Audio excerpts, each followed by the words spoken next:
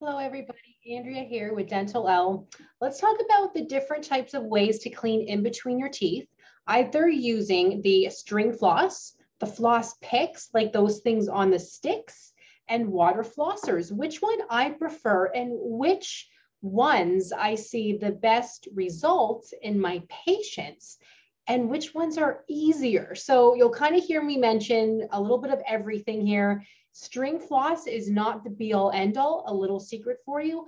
I don't use string floss. Okay, here we go. Let's have some fun, shall we? So I love the Waterpik, the water, you, you might hear me refer to it as the Waterpik, the water flosser, Waterpik is the brand name that people have just heard, kind of like tissues and Kleenex. People call Kleenex Kleenex, but it's actually not called Kleenex, it's called tissues. So if you hear me say that, just ignore me, okay? I love the water flossers. This is how they work. It's a little tip. It kind of sprays out high pressure water, not too high, but think of it like a power washer for inside the mouth. You just kind of go along the gums along the teeth like this. And that cleans off in between the teeth, even along the margins. It's fantastic for plaque, stain. It's amazing. This works, in my opinion, your online dental hygienist here who has her own practice. In my opinion, this works the number one, works the best better than that string floss, better than the floss picks. And I'm going to tell you why in a moment. So let's just move down to the string floss and then the floss pick. So string floss is good, okay? I'm not gonna tell people not to use it. If as long as you use the string floss every day and you're doing it properly, it works amazing. But the thing about string floss is people don't like using it. They know they should. Your dental hygienist, your dentist will tell you constantly you need to floss. So what people end up doing is they will floss every day a week after they have their teeth cleaned and then maybe once a week and then once a month. It's not doing anything if you're not doing it consistently. If you're flossing three times a week, that's actually pretty good. You're not doing too bad. But for most people to really see a proper cleaning in between the teeth is you have to floss every day. So I find my patients or anybody just isn't doing it enough and it's not worth it. The floss picks though are definitely easier to use because it has the little string floss, which is attached to a little stick, if you will, and you kind of floss like that. It is easier to use, but same thing. You have to use it every day to be effective.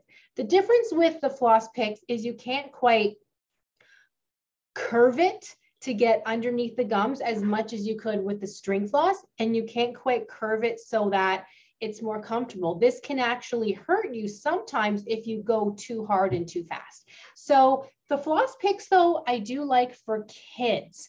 They're so much easier for kids to use.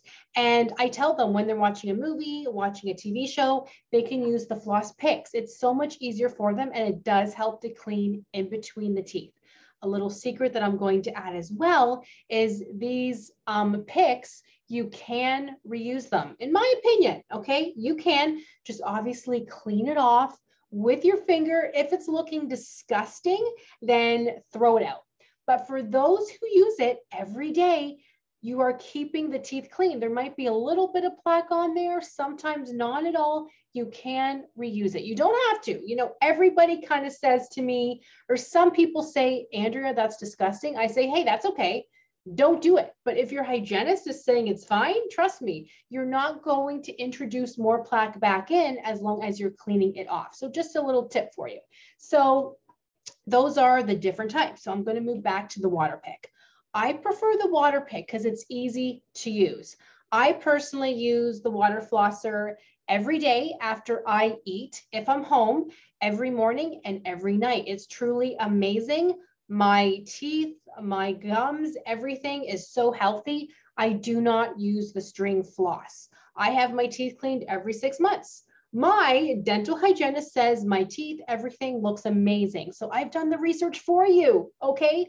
The water flosser is amazing. And just a side note, I'm not being sponsored to talk about the water flosser. I probably should be because I talk to every patient to get the water flosser. I do have a specific video though, where I talk about different types.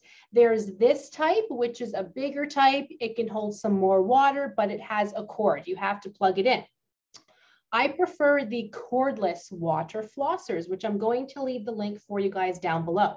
I prefer the cordless because I can put it under the sink. I don't have to look at it. The less on my counters, the better. With the cordless, you can also use it in the shower. So if you just truly think, I don't have time to clean in between the teeth, when am I going to do this? Make the time in the shower when you shower every day. And it's cordless, so you can take it anywhere. It's truly amazing buy the water flosser, you guys, I'm telling you. I'm going to leave the link for you down below. You're going to notice a difference. There will be less plaque, less stain, and your hygienist will be so happy. It can help prevent cavities. The cleaner the teeth, the cleaner the mouth prevents cavities and gum disease. So get the water flosser, I'm telling you. I'm going to leave some links for you guys down below. The string floss is good if you use it every day. Same with the floss picks. It's good if you use it every day, but nobody does.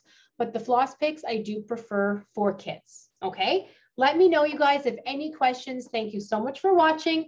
I will leave the link for you down below with a cordless water flosser that I personally like to use, okay? Good luck, have fun. You will love it, trust me, and I'll talk to you guys in the next video.